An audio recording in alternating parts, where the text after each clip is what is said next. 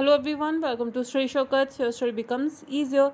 ਤਾਂ ਆਪਾਂ ਲਿਖ ਕੇ ਆਏ ਜੀ ਤੁਹਾਡੇ ਲਈ ਇੱਕ ਵੱਡੀ ਇਨਫੋਰਮੇਸ਼ਨ ਬਿਗ ਅਪਡੇਟ ਜੋ ਕਿ ਈਟੀਟੀ ਦੇ ਜਿਹੜੇ ਪੇਪਰ ਨਿਕਲੇ ਹੋਏ ਆ ਜੀ 6635 ਤੇ ਪਲੱਸ 22 ਪੋਸਟਾਂ ਜੇਲ੍ਹ ਡਿਪਾਰਟਮੈਂਟ ਦੀਆਂ, ਉਸ ਨੂੰ ਲੈ ਕੇ ਵੱਡੀ ਅਪਡੇਟ ਜਿਹੜੀ ਆ ਚੁੱਕੀ ਹੈ ਉਸ ਦੇ ਐਗਜ਼ਾਮ ਡੇਟ ਜਿਹੜੀ ਅਨਾਉਂਸ ਹੋ ਚੁੱਕੀ ਹੈ ਜੀ।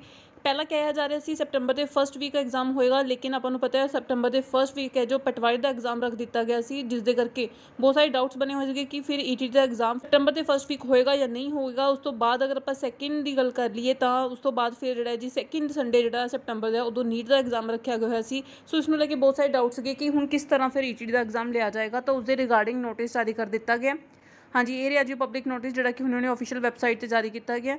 ਤੇ ਇਸ ਦੇ ਵਿੱਚ ਮੈਂਸ਼ਨ ਹੈ ਕਿ ਟੀਟੀ ਕਾਡਰ ਦੀਆਂ 6535 ਪੋਸਟ ਆਊਟ ਕੀਤੀਆਂ ਗਈਆਂ ਸੀ ਡਿਸਐਡਵਾਂਟੇਜਸ ਏਰੀਆ ਦੇ ਜੇਲ੍ਹ ਡਿਪਾਰਟਮੈਂਟ ਦੇ ਅੰਦਰ ਈਟੀਟੀ ਦੀਆਂ 22 ਪੋਸਟਾਂ ਜਿਹੜੀਆਂ ਆਊਟ ਕੀਤੀਆਂ ਗਈਆਂ ਸੀ, ਉਹਨਾਂ ਸਾਰਿਆਂ ਦਾ ਜਿਹੜਾ ਐਗਜ਼ਾਮ ਹੈ ਜੀ, ਉਹ ਹੁਣ 19 9 2021 ਦਿਨ ਐਤਵਾਰ ਨੂੰ ਲਿਆ ਜਾਣਾ ਹੈ। ਤਾਂ 19 ਸੈਪਟੰਬਰ ਨੂੰ ਲਿਆ ਜਾਏਗਾ ਜੀ ਦਿਨ ਐਤਵਾਰ ਨੂੰ। 100 ਅੰਕ ਦਾ ਟੋਟਲ ਜਿਹੜਾ ਤੁਹਾਡਾ ਪੇਪਰ ਹੋਏਗਾ ਸਮਾਂ ਜਿਹੜਾ ਹੈਗਾ ਜੀ, ਇਹ 11 ਵਜੇ ਤੋਂ ਲੈ ਕੇ 12:40 ਤੱਕ ਦਾ ਤੁਹਾਡਾ ਇਹ ਸਮਾਂ ਰਹੇਗਾ। ਰੋਲ ਨੰਬਰ ਸੰਬੰਧੀ ਸੂਚਨਾ ਵਿਭਾਗ ਦੀ ਅਫੀਸ਼ੀਅਲ ਵੈਬਸਾਈਟ ਤੇ ਆਉਣ ਵਾਲੇ ਸਮੇਂ ਵਿੱਚ ਅਪਲੋਡ ਕਰ ਦਿੱਤੀ ਜਾਏਗੀ। ਤੇ ਐਡਮਿਟ ਕਾਰਡ ਵੀ ਜਲਦੀ ਅਪਲੋਡ ਕਰ ਦਿੱਤੇ ਜਾਣਗੇ। 6635 ਦੀਆਂ ਪੋਸਟਾਂ ਤੇ 22 ਪੋਸਟ ਜਿਹੜੀਆਂ ਆਊਟ ਕੀਤੀਆਂ ਗਈਆਂ ਸੀ ਈਟੀਡੀ ਦੀਆਂ, ਉਹਨਾਂ ਦੀ ਐਗਜ਼ਾਮ ਡੇਟ ਅਨਾਉਂਸ ਹੋ ਚੁੱਕੀ ਹੈ 19 ਸੈਪਟੰਬਰ ਸਮਾਂ 11 ਵਜੇ ਤੋਂ 12:40 ਤੱਕ ਦਾ ਥੋੜਾ ਸਮਾਂ ਰਹੇਗਾ। ਹਾਂਜੀ, ਇਹ ਰਿਹਾ ਜੀ ਨੋਟਿਸ ਲੈਕਚਰਰ ਦੇ ਰਿਗਾਰਡਿੰਗ ਕਿ ਉਹਨਾਂ ਦੀ ਸਟੇਸ਼ਨ ਅਲੋਟਮੈਂਟ ਜਿਹੜੀ ਆ ਚੁੱਕੀ ਹੈ ਤੇ ਇਸ ਦੇ ਵਿੱਚ ਉਹਨਾਂ ਨੂੰ 27 ਤਰੀਕ ਨੂੰ 11 ਵਜੇ ਤੋਂ 4:30 ਵਜੇ ਤੱਕ ਅਲੱਗ-ਅਲੱਗ ਸਬਜੈਕਟ ਦੇ ਅਕੋਰਡਿੰਗ ਜਿਹੜਾ ਉਹਨਾਂ ਨੂੰ ਬੁਲਾਇਆ ਗਿਆ ਜੀ।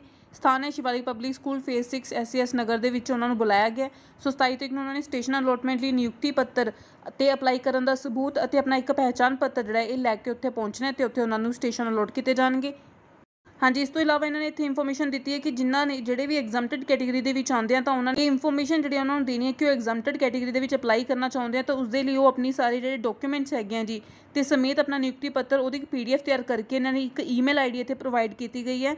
ਤੁਸੀਂ ਇਹ ਦੇਖ ਸਕਦੇ ਹੋ lecturer569@gmail.com ਤਾਂ ਇੱਥੇ ਇਸ ਈਮੇਲ ਤੇ ਤੁਸੀਂ 27 ਤਰੀਕ ਨੂੰ ਸਵੇਰੇ 8 ਵਜੇ ਤੱਕ ਜਿਹੜੀ ਇੱਥੇ ਈਮੇਲ ਭੇਜ ਸਕਦੇ ਹੋ, ਤਾਂ ਹੁਣ ਤੋਂ ਤੁਸੀਂ ਆਪਣੀ ਪੀਡੀਐਫ ਬਣਾ ਕੇ ਈਮੇਲ ਭੇਜ ਦਿਓ, ਸਵੇਰ 8 ਵਜੇ ਤੱਕ ਤੁਸੀਂ ਇੱਥੇ ਈਮੇਲ ਭੇਜ ਸਕਦੇ ਹੋ।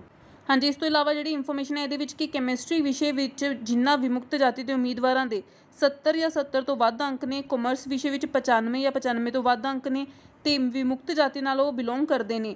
ਦੇ ਉਮੀਦਵਾਰ ਅਤੇ ਫਿਜ਼ਿਕਸ ਵਿਸ਼ੇ ਵਿੱਚ ਵਿਮੁਕਤ ਜਾਤੀ ਨਾਲ ਸਾਰੇ ਉਮੀਦਵਾਰ ਨੂੰ ਆਪਣੇ ਅਸਲ ਦਸਤਾਵੇਜ਼ਾਂ ਦੀ ਸਕਰੂਟਨੀ ਲਈ ਸਵੇਰੇ ਵਜੇ ਤੋਂ 3 ਵਜੇ ਤੱਕ 27 ਤਰੀਕ ਨੂੰ ਜਿਹੜਾ ਸੱਦਾ ਦਿੱਤਾ ਜਾਂਦਾ ਹੈ ਤੇ ਵਿਮੁਕਤ ਜਾਤੀ ਦੀ ਸਕਰੂਟਨੀ ਲਈ ਕੈਂਡੀਡੇਟਸ ਨੂੰ ਬੁਲਾਇਆ ਗਿਆ ਲੈਕਚਰਰ ਦੇ ਵਿੱਚ ਜਿਹਦੇ ਵਿੱਚ ਕੈਮਿਸਟਰੀ ਦੀ ਅਗਰ ਆਪਾਂ ਗੱਲ ਕਰ ਲਈਏ ਉਸ ਦੇ 70 ਤੋਂ ਵੱਧ ਅੰਕ ਵਾਲੇ ਤੇ ਕਾਮਰਸ ਦੇ ਵਿੱਚ 95 ਤੋਂ ਵੱਧ ਅੰਕ ਵਾਲੇ ਜਿਹੜੇ ਕੈਂਡੀਡੇਟਸ ਉਹਨਾਂ ਨੂੰ ਬੁਲਾਇਆ ਗਿਆ। ਫਿਜ਼ਿਕਸ ਦੇ ਵਿਮੁਕਤ ਜਾਤੀ ਦੇ ਸਾਰੇ ਕੈਂਡੀਡੇਟਸ ਨੂੰ ਬੁਲਾਇਆ ਗਿਆ।